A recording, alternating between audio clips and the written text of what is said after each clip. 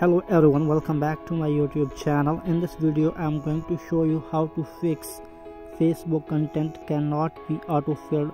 How we can fix it? We can fix it easily.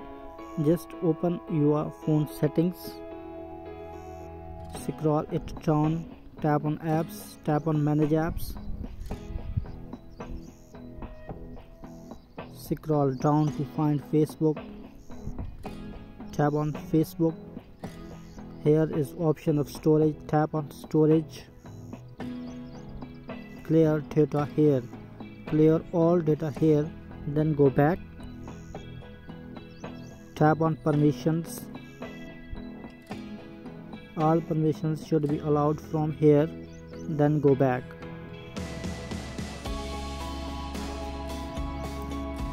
After doing this tap on three dots here tap on reset app preferences. Tab here. Reset app preferences from here. Then go back. After doing this make sure that your facebook version is updated and latest. For this you need to go to play store. In search bar type facebook. And make sure that it is updated and latest. If it is not updated then update it first from here. After doing this you need to go back. After doing these steps you need to restart your device. After restarting your problem hopefully will be fixed. If you found this video useful then please subscribe my youtube channel.